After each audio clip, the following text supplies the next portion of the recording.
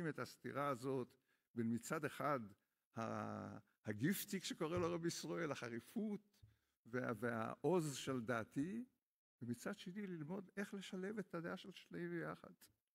היסוד של זה זה כבוד חברו.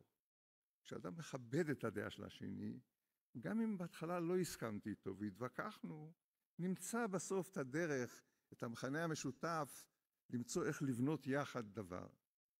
אז אני חושב שהתפקיד של הישיבה שלנו ושל כל הכנס הזה, זה באמת ללבן דברים, וללבן דברים לחפש את האמת. ולא לא משנה מה יקרה כך או ככה, כי כל, כל דבר הוא חשוב, יש לו ערך בפני עצמו. אבל בסוף למצוא את המכנה המשותף ואת הדרך של היחד ולבנות מה שצריך לבנות. אני חושב שהנבואה האחרונה שניתנה לכלל ישראל, זה הנבואה הזאת של אז נדברו, זה סוף הנבואה, זה אומר שזה נבואה לדורות, שזה, בזה אנחנו קיבלנו את, את המפטיר של, של הנבואה. אז המשך הפסוק, אחרי שכתוב אז נדברו יראי השם איש את רעהו, ויקשב השם וישמע, וייכתב ספר זיכרון לפניו ליראי השם ולחושבי שמו, בסוף הפסוק, והיו לי, אמר השם צבקות, ליום אשר אני עושה, ליום, אני, ליום אשר אני עושה סגולה, וחבל, וחמלתי עליהם כאשר יחמול איש על בנו העובד אותו. זו הברכה שלי, שהקדוש ברוך הוא יחמול עלינו כשהוא רואה שנדברו יראה השם איש את רעהו, יחמול עלינו כאיש החומל על בנו, יחמול איש על בנו העובד אותו, ויחמול עלינו ובמהרה בימינו שיבוא במשך צדקנו. יישר כוח לכבוד ראש הישיבה שנזכה להתדבר בינינו ובדרך של עיקר נתינתה. הנהגת רבני קהילות בתפוצות לנוכח אתגרי הזמן, כך הכתירה הוועידה את אה, דבריו, דברי ברכתו ותורתו של אורח הכבוד, מרן הרב הראשי לישראל, נשיא מועצת הרבנות הראשית, הראשון לציון, מורנו הרב יצחק יוסף שליטה. בבקשה, כבוד הרב.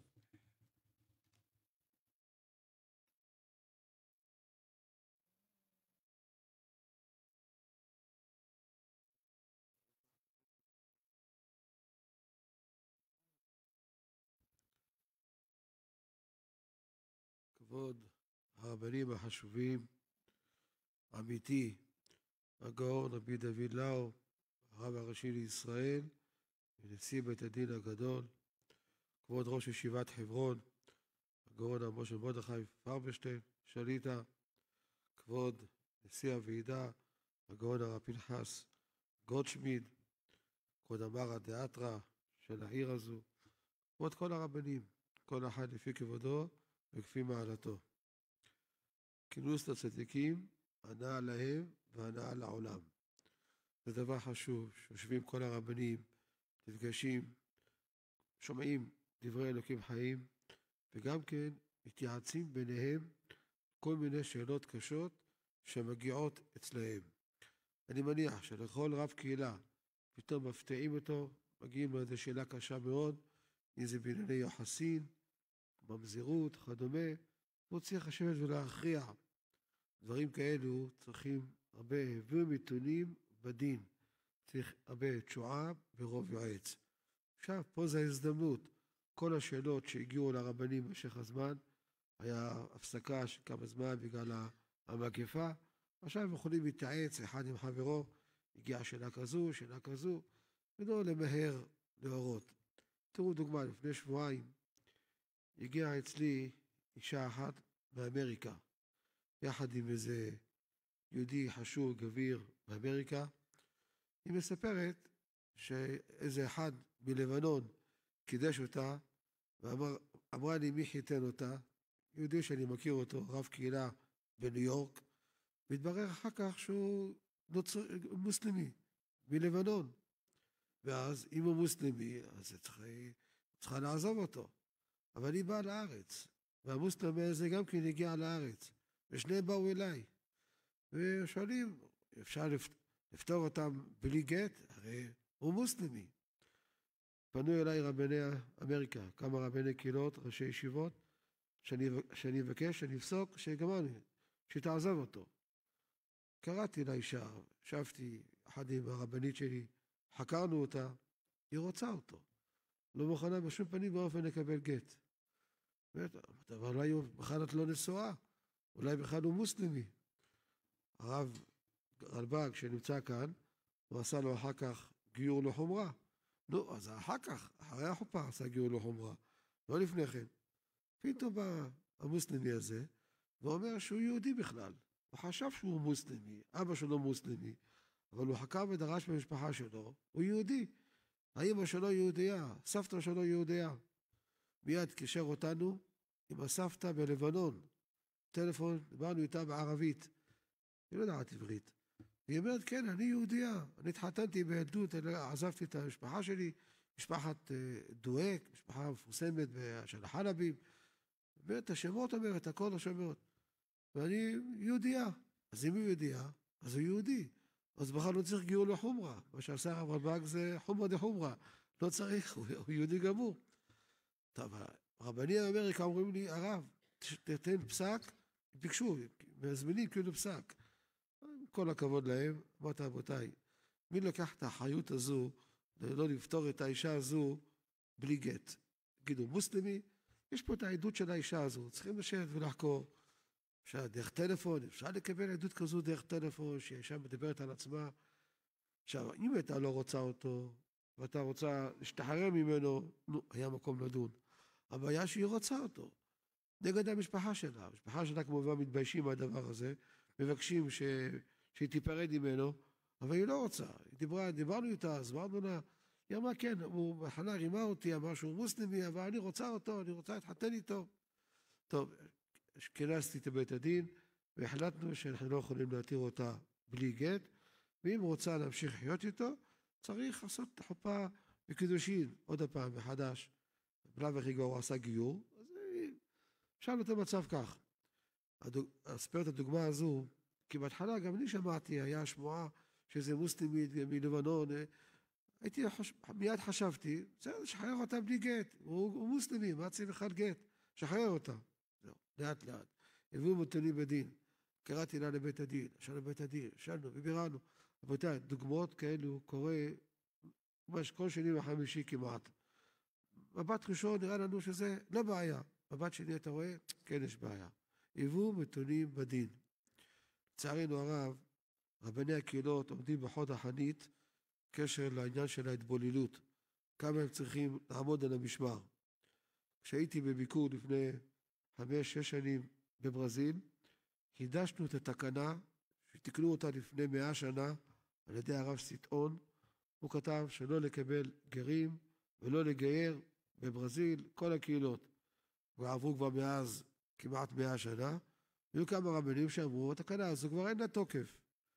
ביקשו אותי שאני אחדש את התקנה, ישבתי והעתקתי את התקנה בכתב ידינו, והלכתי לרבנים, החתמתי את כל הרבנים שם, כולם חתמו שלא מקבלים. גם כן הקהילות החלבים בניו יורק לא מקבלים גרים. גם בארגנטינה כך. דיברתי עם הרב הראשי שם, הרב שחבר, רק כן ביקש שאני אכתוב את זה ושכולם יחתמו, כולם כתבו וחתמו שלא לקבל גרים. טוב, זה אי אפשר בכל הקהילות. זה קהילות החלבים עשו את זה, ובאמת זה מנע התבוללות ממש בצורה דרסטית, שום דבר. אבל יש הרבה קהילות, קשה דבר כזה לעשות. גם יש הרבה רבנים מפוזרים, לא כולם ישמעו לדבר הזה. מציאות היא שיש גיורים, זה המציאות. צריכים לבדוק טוב טוב, שזה יהיה גיור אמיתי. היום קמו כמה רבנים, לצערנו הרב, רבנים עם מירכאות, שמכריזים על כל במה, כוחה דהיתרה עדיף, כוחה דהיתרה עדיף.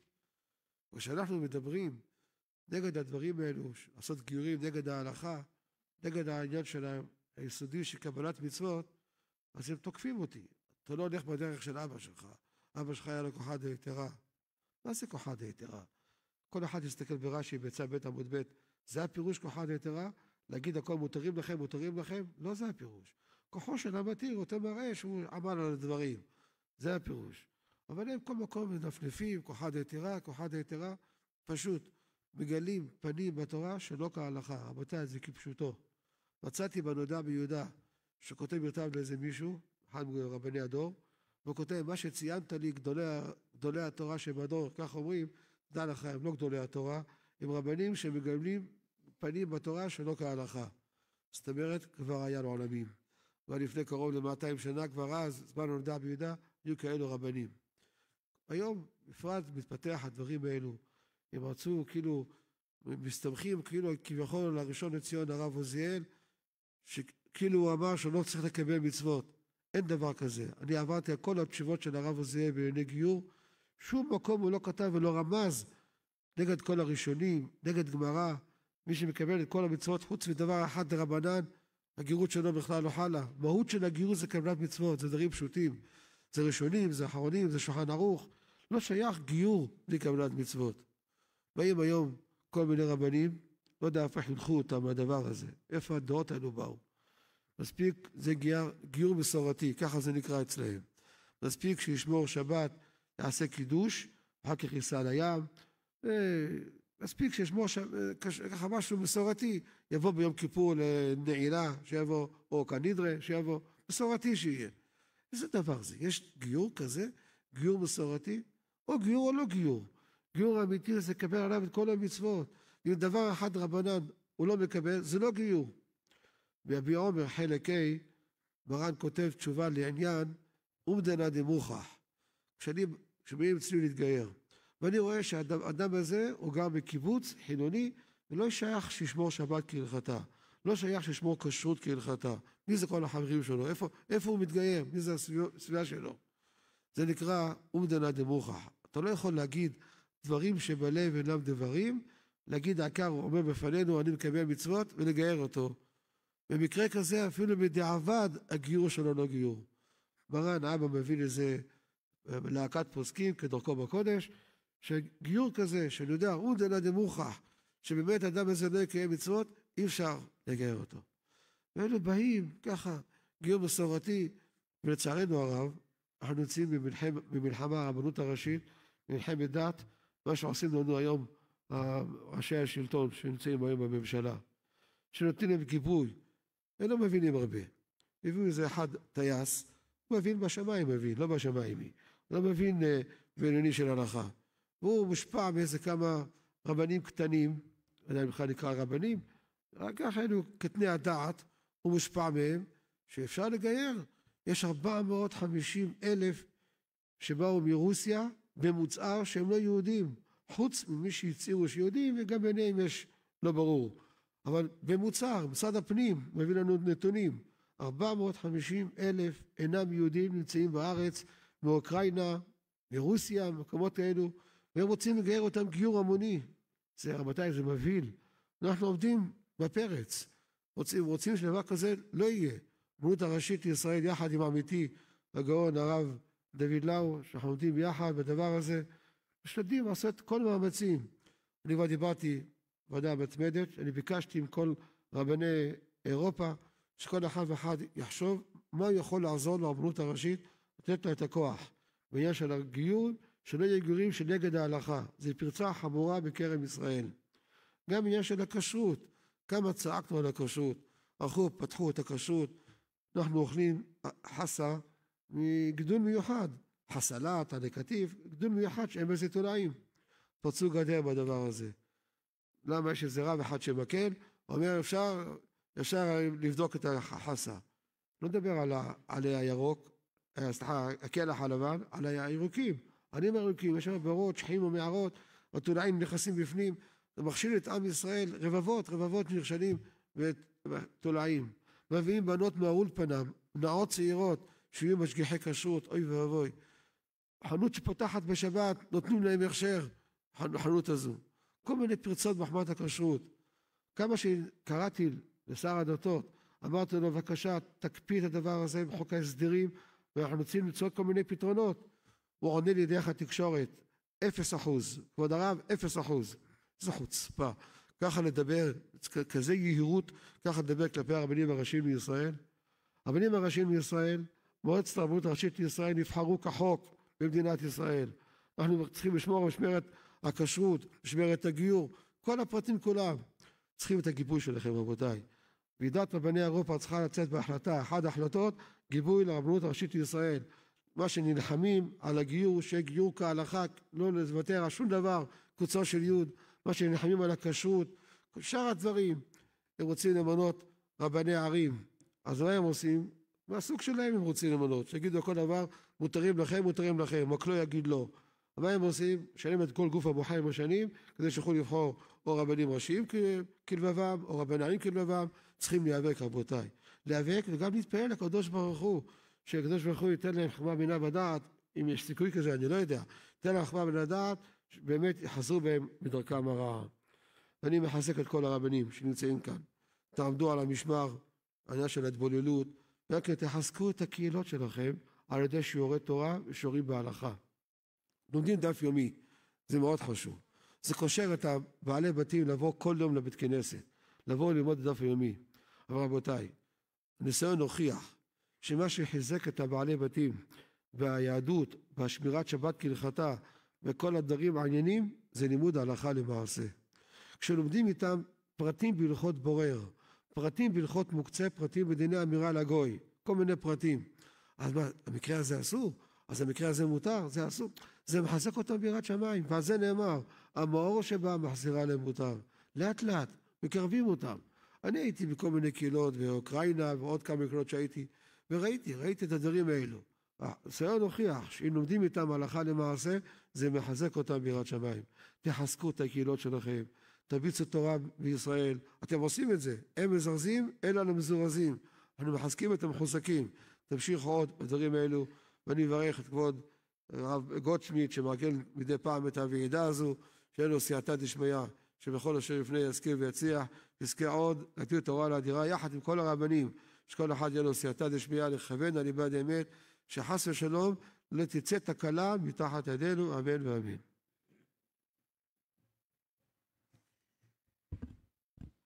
יישר כוח מרן הראשון לציון. נמצא איתנו במסירות נפש גדולה ורבה מרן הרב הראשי לישראל, נשיא בית הדין הגדול, הגאון הרב דוד לאו שליטא, שזה הזמן להגיד לו שוב מה שאנחנו אומרים כל הזמן דרך פרקי התהילים שלנו ודרך האהבה העצומה של כל כלל ישראל שמקיפה את כבוד הרב ואת משפחתו בימים אלה, שיערה השם רוח ממרומים, רוח רפואה, רוח ישועה בעזרת השם, אמן כן יהי רצון. כבוד הרב הראשי יכבד אותנו בדברי ברכה ושיעור על התמודדות הרבנים בזמן הקורונה והשלכותיה.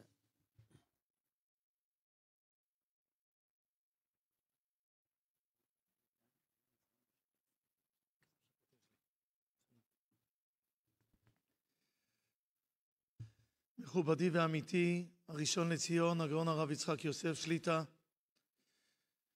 מכובדי ורבי, לא למדתי בישיבת חברון, הרב רלב"ג, אבל גם בפונוביץ' למדו תורה, אבל בכולל למדנו דיינות אצל הרב הגאון, הרב משה מרדכי פרבשטיין שליטא, וזכינו את הבסיס לבית המדרש לדיינים.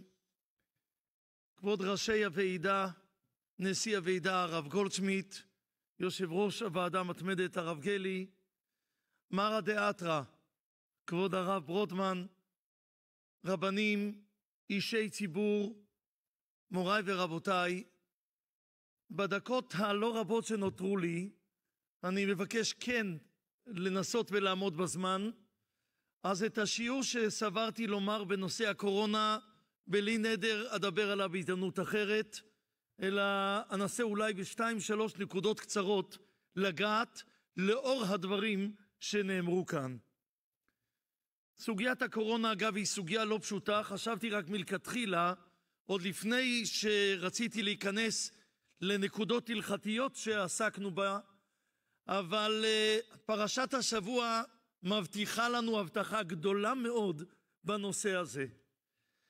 כי בסוף פרשת במדבר, עבורנו בני ארץ הקודש כבר קראנו, בני חו"ל, הבוקר קראנו כאן את במדבר. סוף הפרשה מדברת הפרשה על מניינם של בני הלוויים, והם היו עשרים ושניים אלף איש, כשטמאים הראשונים ובראשם הרמב"ן, כיצד ייתכן ששבט שמונים אותו מגיל חודש ומעלה, קטן יותר מחצי שבט שמונים אותו מגיל עשרים ומעלה. את כל השבטים מונים מגיל עשרים ומעלה. שבט לוי נמנה מגיל חודש. הכיצד הוא מונה עשרים ושניים אלף איש, פחות מחצי מהשבט הקטן? הרמב"ן עונה, אור החיים הקדוש עונה תשובות רבות. תשובה אחת של הרמב"ן מתאימה מאוד דווקא ויהי אחרי המגפה. אומר הרמב"ן, הרי הריבוי של עם ישראל היה חריג. השישה בחרס אחת, ויפרו וירבו ויעצמו במאוד מאוד, ותמלא הארץ אותם, זה נס חריג מאוד. זה משהו שלא בדרך הטבע. מי זוכה לנס? אלה שהייתה עליהם הגזרה, פן ירבה ופן יפרוץ, הם זוכים לברכה של כן ירבה וכן יפרוץ. שבט לוי לא היה בעבודה. שבט לוי לא עבדו בעבודת הפרך. ומכיוון שהם לא עבדו, עבדו בעבודת הפרך, כך כותב הרמב"ן, רבותינו הראשונים, היות שהם לא עבדו בעבודת פרך, ממילא הם לא היו בגזירת פן ירבה, לא זכו לברכה של ריבוי על-טבעי של כן ירבה, בניגוד לשאר השבטים. כך שגם אם הוועידה הקודמת הייתה בטרם המגפה, אבל ויהי אחרי המגפה, יש לנו כאן מילים ברורות של הרמב"ן שמבטיחות לנו ריבוי והגדלת לומדי תורה, מלמדי תורה, עמליה, ובמקומות שבמגפה פגעה, יש לנו כאן הבטחה גדולה לסייעתא דשמיא, כך למדנו מדברי הרמב"ן, ובעזרת השם, כה ייתן השם וכה יוסיף בהגדלת תורה. מציון יוצאת תורה, ובאירופה ובכל המקומות, כי אני מזהה גם רבנים ממקומות נוספים, שיגדל כבוד שמיים בעולם כולו. מוריי ורבותיי, הקורונה באמת העלתה שאלות רבות. היו לנו שאלות של אורח חיים, שאלות של תפילות, צורה של תפילה, מקומות תפילה, מרפסות. לי אגב הייתה מיד תשובה, מיד ביום שהתקשרו ושאלו. אגב, כל הקורונה מבחינתנו בארץ, שבוע לפני פורים דפיקה בדלת, נכנס סגן שר הבריאות הרב ליצמן עם מנכ"ל המשרד משה בר סימן טוב, שמות שעד אז פחות הכרנו, עם גברת שממונה על בריאות הציבור, הפרופסור סיגל סדצקי, נכנסים שלושתם ואומרים לי זה סיפור אמיתי רציני, זה מגיע התמונות מאירופה, מאיטליה, התמונות הללו עלולות להגיע לכאן אם לא נעשה מעשה. וחייבים לעשות הכל, לא שבת זכור, לא קריאת מגילה, ובאנו לשאול כרגע מה עושים. אמרתי להם קודם כל שבת זכור בואו ניסה למי שזוכר בארץ המספרים ירדו. בהתחלה היו עד מאה אנשים אחר כך זה ירד לחמישים אנשים בבית כנסת ואז זה ירד לקרוב למניין. ואני אומר קרוב למניין כי ניסינו אז להסביר להם שגם יש הבדל. אולם גדול ואולם קטן, אם זה שטיבל של עשרים כיסאות, אני מבין שעשרה אנשים זה המקסימום שאפשר. אבל אם זה בסמדרש של שלושת אלפים מקומות, לא הגיוני שניתן יהיה להיות בו רק עשרה אנשים. תקופה לא פשוטה. לי הייתה אבל תשובה מאוד ברורה לגבי המרפסות, כי מי שהסבא של הסבא שלי, המנחשי, שמואל יצחק שור, הרמי מוסטריץ', ראו חברותא של השואל ומיישיב, והוא כתב בסימן י"ח הכרעה פשוטה על פי השולחון אורוך, תשובת הרשב"א, שצירוף בקרונות נפרדים מצטרפים בזה למניין, ולכן היה לי קל הרבה יותר בנקודה הזאת מיד להורות בתפילה. היו לנו שאלות מעניינות שהקפדנו עם כל הקשיים שמקוואות יהיו כשרים, יישארו, אבל קריאת מגילה, קריאת פרשת פרה, שבת אחרי פורים, מדבר איתי יהודי מהמחלקה הסגורה של קורונה בית חולים השרון. הוא נמצא שם והוא מתחנן לשמוע קריאת פרשת פרה מספר תורה. אבל אומרים לו שאם ספר התורה ייכנס, הוא לא יוצא. לא ידוע בדיוק גם איך מדביק, מה מדביק. שאלות שנדמה היה לא שמענו מעולם. או ראינו אצל משה פיינטרנט תשובה לגבי תפילין לבית חולים של מצורעים, ספר תורה שייכנס, תקיעת שופר מדברים על טיפה ושהטיפות לא תצאנה, שאלות היו בלי סוף. גם בבית הדין היו לנו שאלות. חייבים היו ללכת ולהיזהר לא להעביר דבר מיד ליד. ואז פונה, פונה אליי אב בית דין בירושלים, מצלצל. הוא אומר, אני עכשיו יושב בבית הדין, עומד לסדר גט, אבל כולנו פה עם כפפות ומסכות.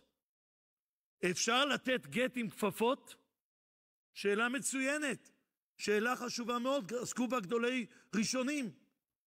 אמרתי לו, בחלקת יואב כותב לך מפורש, שרק תקפיד שהיא, האישה, תהיה בעלים על הכפפות, ושזה יהיה בידיים שלה, שזה יהיה ב... לתוך היד שלה, ולא להסתפק בקניין הגבהה שאנחנו מגביהים, אלא גם לתוך הכפפה שתהיה אבל היא הבעלים. ומסכות, אמרתי לו, הרי כולם נמצאים באולם, יודעים מי הוא מי, האיש מינה את העדים, אבל סוגיות שעסקנו בהן, סוגיות מעשיות מאוד.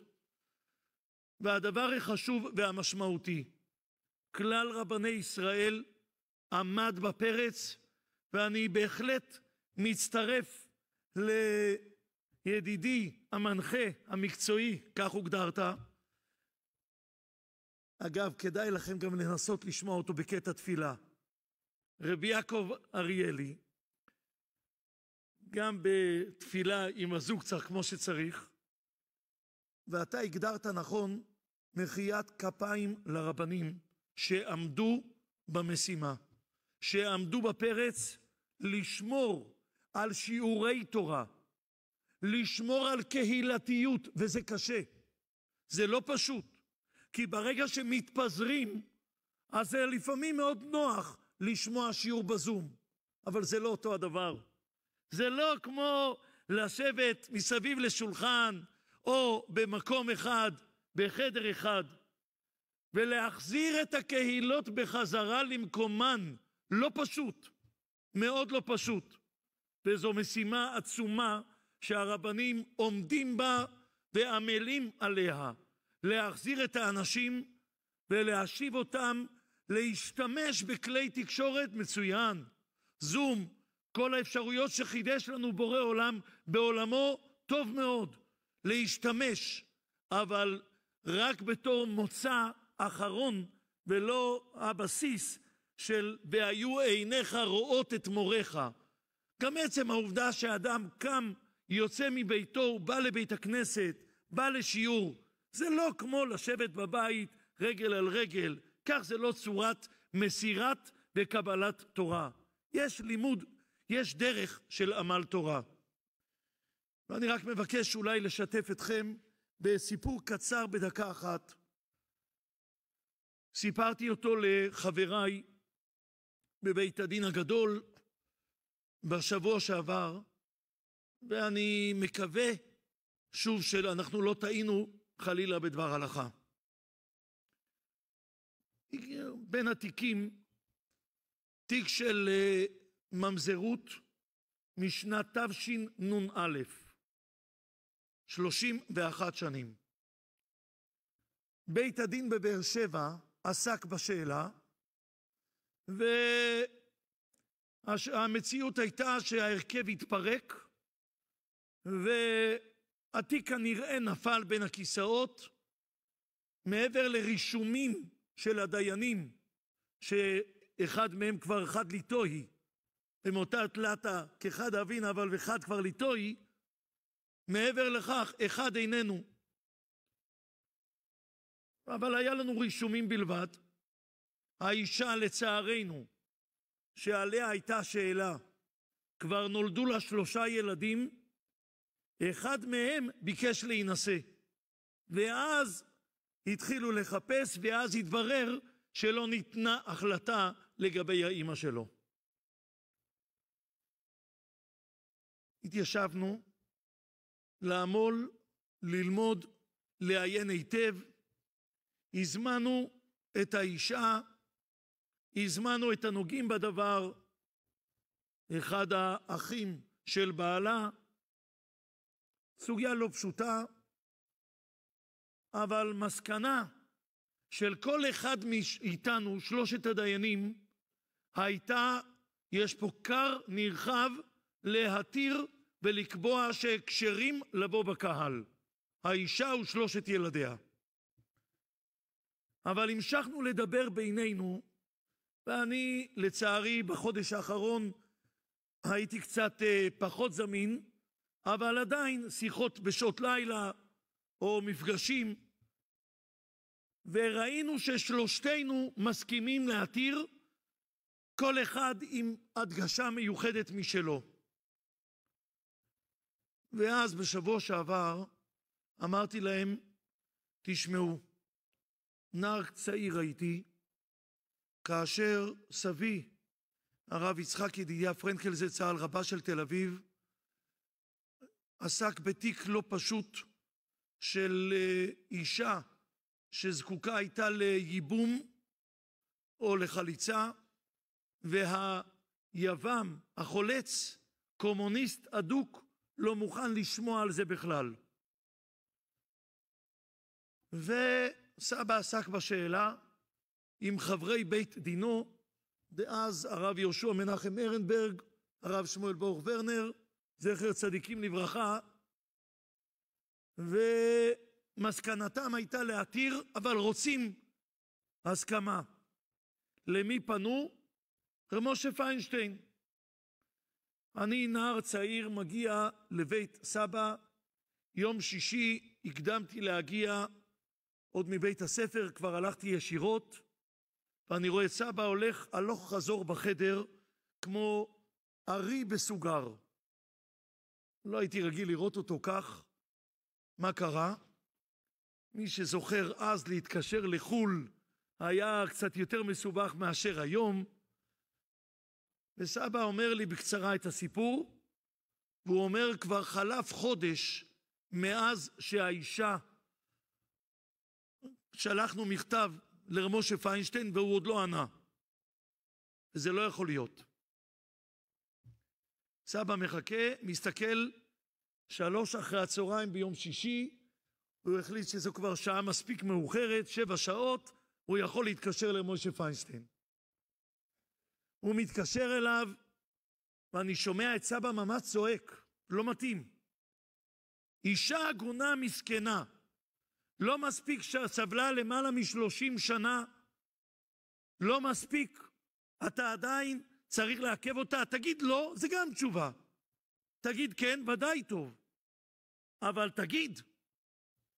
ורמוישה מתנצל לו שהוא היה חולה בשבועיים שלושה האחרונים, והיות שכך, הוא אה, עוד לא ידע, ומבחינתו לא ראה את המכתבים.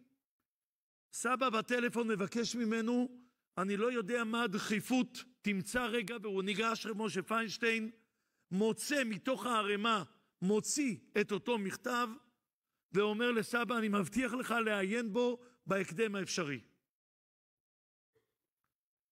אני לא זוכר להגיד לכם את השעה שבה נכנסה השבת, אבל חמש, עשר דקות לפני כניסת שבת, דפיקה בדלת, מגיע דבר עם מברק. פעם היה דבר כזה. במברק כתוב M-U-T-E-R-E-T,